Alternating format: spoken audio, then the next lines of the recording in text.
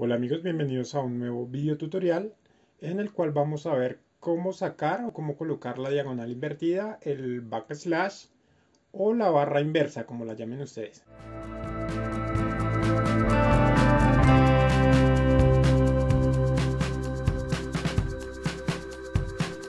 Bien, acá estamos en un blog de notas y voy a intentar explicarlo con mi teclado en pantalla.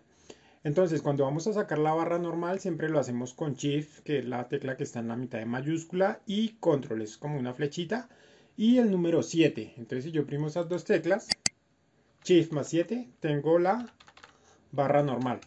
Pero como lo que queremos es la barra inversa, entonces lo vamos a hacer en el portátil con AlGR y el signo de pregunta. Entonces yo primo las teclas AlGR, signo de pregunta, y ya tengo la diagonal inversa o la diagonal invertida.